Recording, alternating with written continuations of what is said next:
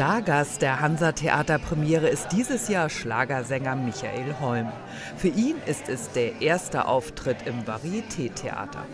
Das atmet Historie, das atmet Geschichte, das atmet Unterhaltung und Freuden und Lachen und äh, ja, Entertainment pur. Ich bin hier sehr, sehr gerne auf dieser Bühne und bin ganz gespannt, wie das heute Abend wird und freue mich auf das Hamburger Publikum. Und er kann es noch. Mit seinem Hit Mendocino reißt Michael Holm das selbst als dröge verschriene hanseatische Publikum mit. Und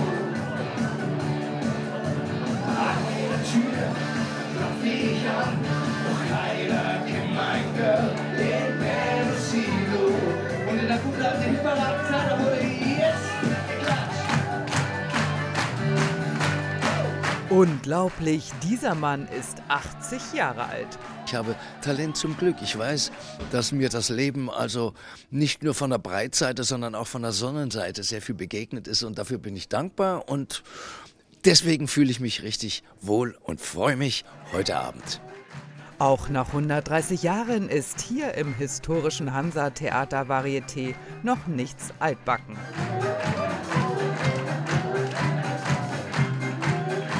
Bei diesen äthiopischen Jongleuren fliegen die Keulen über die Bühne.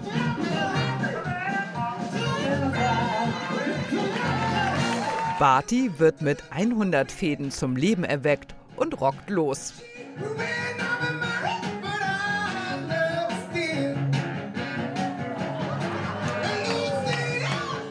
Der belgische Mentalist Aaron Crow gewann schon die Weltmeisterschaft der Magie und spaltet mal eben mit einem Laserschwert den Apfel vom Kopf einer Zuschauerin.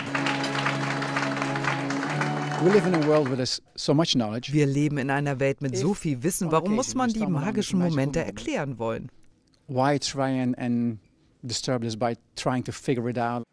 Artisten aus aller Welt stehen auf der Bühne. Die Hula-Hoop-Künstlerin Alexandra Malta entstammt einer berühmten belgischen Zirkusfamilie. Und der Russe Mikhail Schaschin und der Ukrainer Dimitru Taratutenko haben eine besondere Verbindung. Ihre Partnerakrobatik fantastisch. Varieté ist was, hat ganz viel mit Völkerverbindung, Völkerverständigung zu tun. Und die Artisten kommen aus Belgien, aus Kanada, aus Frankreich, aus Äthiopien und äh, zwei äh, aus der Ukraine und dann noch die Nummer mit dem Ukrainer und dem Russen, die sich gegenseitig in die Luft äh, wirbeln irgendwie und dann zusammen diese Nummer zu Ende spielen und immer noch Freunde sind. Das macht Hoffnung. Noch bis Ende Februar zeigen diese Künstler und Künstlerinnen im Hansa Theater Varieté ihr Können.